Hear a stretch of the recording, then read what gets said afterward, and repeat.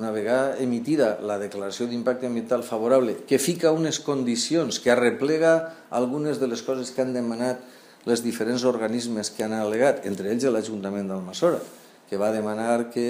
se revisara el tamany de les graves, que se revisara també l'altura de la playa a l'objecte de millorar el que no mos salte l'aigua com en el projecte se diu, hauran de tindre en compte aquestes coses que se demanen, pues ara el promotor, que és la Direcció General de Costes, el que té que fer és añadir aquestes modificacions, correccions, suggerències al projecte i a continuació preparar els plecs de condicions tècnics, que és el projecte, i administratius per a poder traure a licitació les obres.